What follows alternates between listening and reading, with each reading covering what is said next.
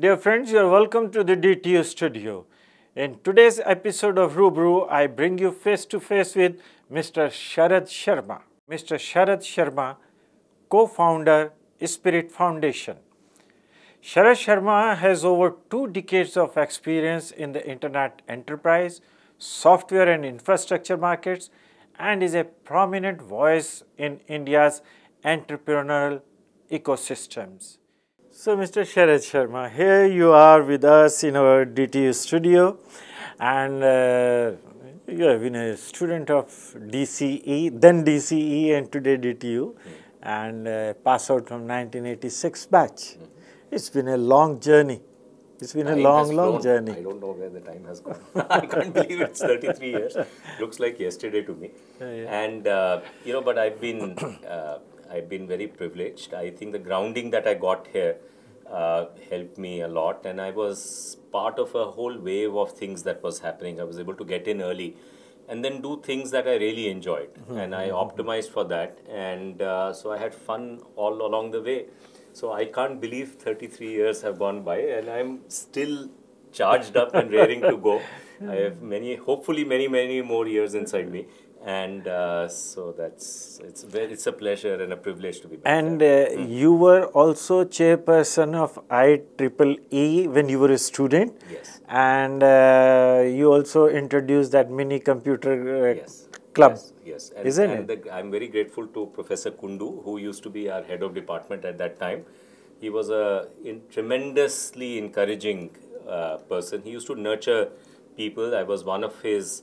Uh, I was one of the beneficiaries because he sought to bring out the best in everybody, and uh, so I, you know, I, we created something called the IEEE uh, Microcomputer Club, Okay. and we got uh, some Epson computers as gifts, and we essentially took them apart. We understood the operating system, and it used to be the CP/M operating system. That led me to Unix and many other things in my life, and uh, so I have very fond memories uh, of. Uh, Okay, uh, rather than talking all professional things, I would want to know from you uh, any funny moments you had when uh, you were a student, or uh, say any crisis.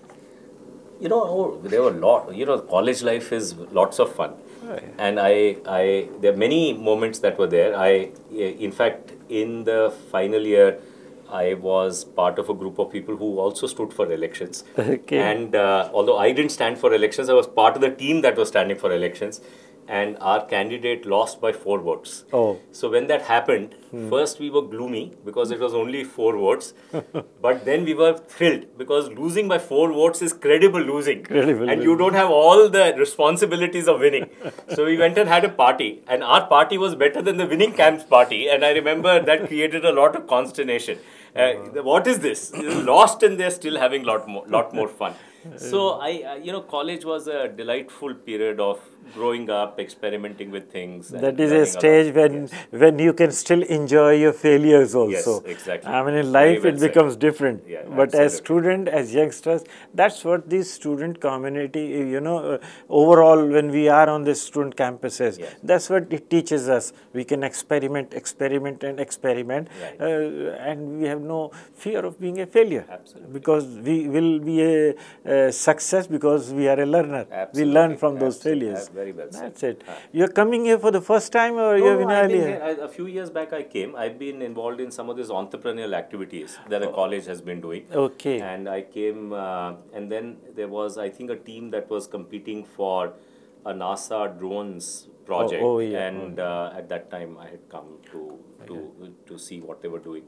So I have been occasionally involved, and Occasionally uh, uh, so uh, so I'm happy to be back again.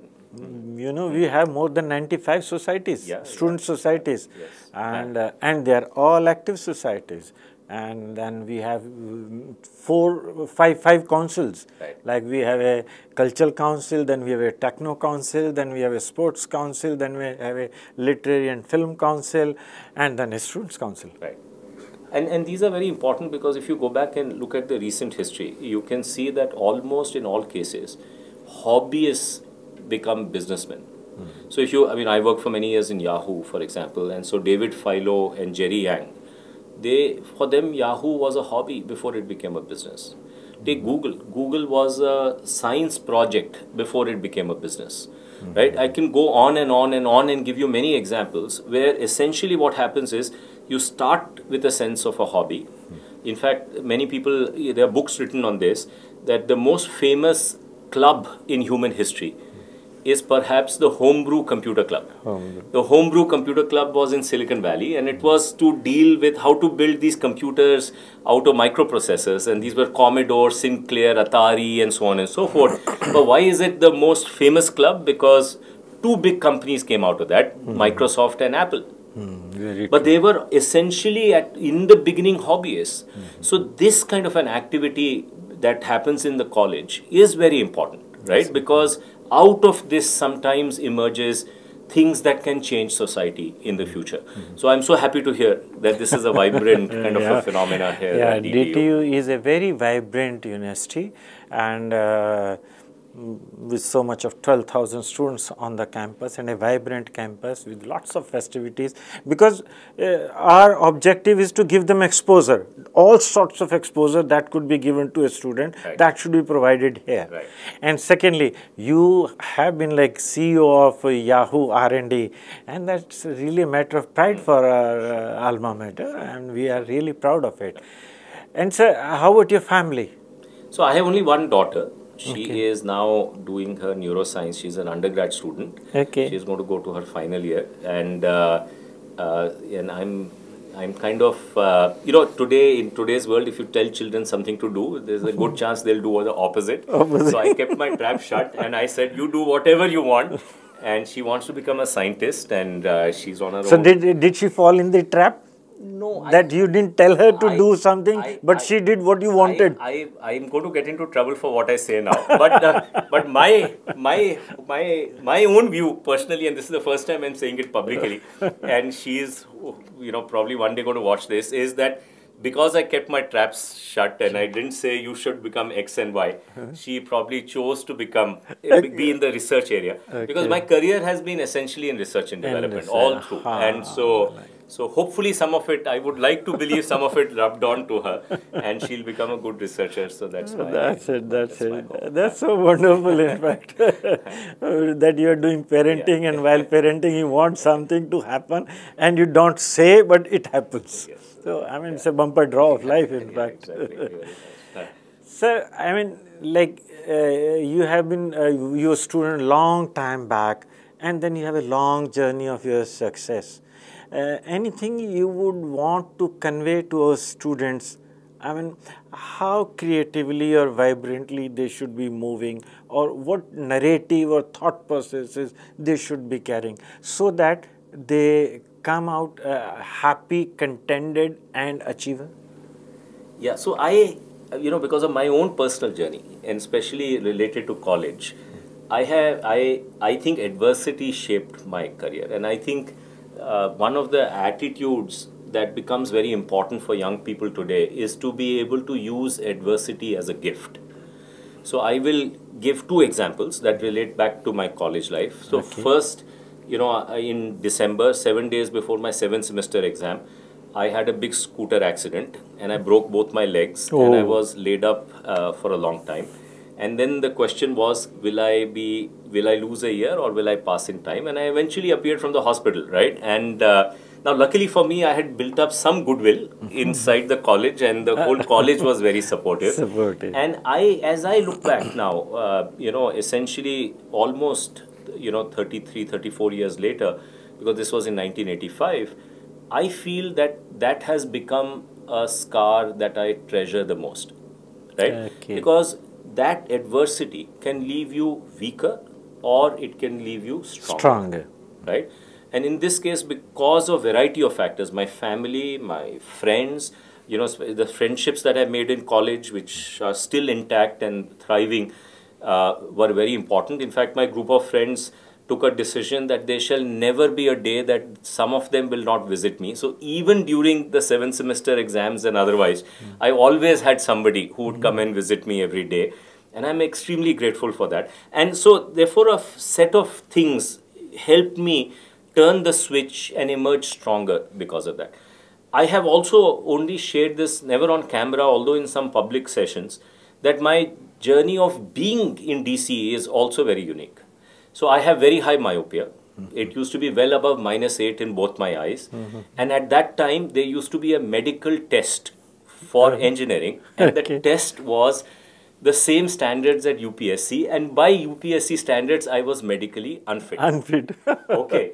So the question was so I was I couldn't do a government job anyway. Anyway. I wanted to be an engineer, but engineers engineering required this. But the rumor was that there were only two places where the medical test didn't happen. One was DCE and the second was Roorkee. okay. Now this is pre-internet, so there was no way to confirm this. So I my focus was to get into these two places, and I did get into both. And and and but I joined college, and but there was a stupid thing I was told to go and ask the admin office, "Do you have a medical test?" Because if you ask them, they will say yes, and yes. then there's problem. So I was not supposed to do that. So I, as a backup, I I said, "What? Supposing they do a medical test, and I." get kicked out what should i do so i must have some backup thing so my backup thing was that i will do philosophy honors so so i had signed up for philosophy honors in hindu college and and engineering for dce and uh, What a and I escaped I, and I, I I escaped ragging in both places because I had the card for the other place. But more importantly I think that ended up being very useful for me. And I today give talks that we must teach philosophy to every AI engineer. Oh, right? Because it has become a requirement. Because in the old times humans each one of us uh, let's say we were driving a car we would make our own philosophical decision. Oh, you know if if we have to you know if we are in a situation where we hit a old person here and a, and a young person there what should we do it's a hmm. dilemma it's a Dil- it's a philosophical dilemma yeah. but we have never solved that philosophical dilemma as a society by delegating it to every individual to solve.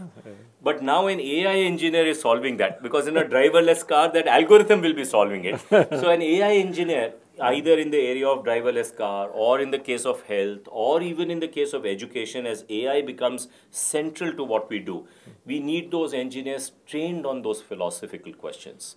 And those philosophical questions have to be embedded in the algorithms that we make. So it's kind of a coming together of both things. But that is my secret, in a way, for being here in DC, my eyesight, and uh, and uh, and and so my message to everybody is there will be adversity in life. That is the purpose of life. Life is never meant to be a straight line. And and the question is, do you bounce back? Are you resilient? Are you like a tennis ball which can bounce back? You shouldn't be like a tomato, so that when it hits the floor, it splashes, right? And so that's something that we can learn in our early years, because what we learn in our early years will stay with us all through our life. Oh, yeah. And college and school are good times to learn. Then good times to learn. It was so nice of you. I mean, it's such an interesting thing, uh, interesting talk, in fact, you have conveyed. Thank you, thank you, Mr. Sharad, for being with us in the studio. And uh, please remain connected. Our students are really wonderful, and we are proud of our students. I'm, I'm, I'm privileged to be part of this. Thank you, sir. Thank you so thank much. You. Thank you. Thank you, sir. Thank you. Thank you.